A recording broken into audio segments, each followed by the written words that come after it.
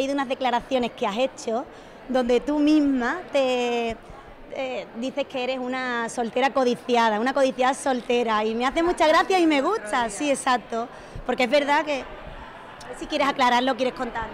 Vamos a ver, yo eh, cuando salieron los 100 solteros, digo, de todos esos, yo creo que soy una de las más codiciadas. ¿Por qué? Porque soy una mujer que no llevo ninguna mochila, no tengo hijos, no tengo marido ni es marido, ni que a veces están incordiando, ¿no? Y luego tengo suficiente para mantenerme y, no dar la lata y no pedir. Entonces lo dije un poco, como te puedes imaginar, en tono de humor. Que es real, es que es real. Es que soy un chollo, un chollo soy. Lo que pasa es que a mí es muy difícil que me pille nadie. ¿Por qué motivo, Carmen? ¿Porque realmente pasas de los hombres o es que es complicado encontrar un hombre competente o, o en tus circunstancias?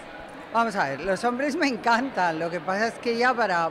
Y he tenido muchos novios y novietes después de quedarme viuda, pero yo lo paso tan bien, tengo una vida tan llena que solamente si alguien me gustara mucho, me enamorase, pues bueno, ahí a lo mejor podía cambiar.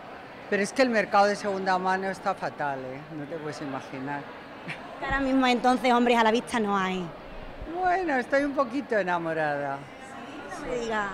Sí, me ha dado de repente como la película de cuando menos te lo esperas.